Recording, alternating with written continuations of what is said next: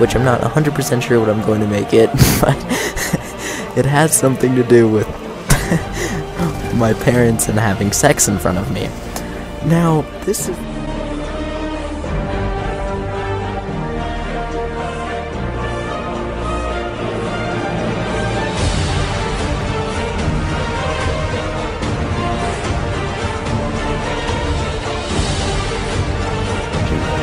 Today I want to talk to you guys about what it takes to become a good commentator, how to make your channel the best that it can be, you know, all that good stuff, and how you can increase your views, subscribers, and likes, and rating,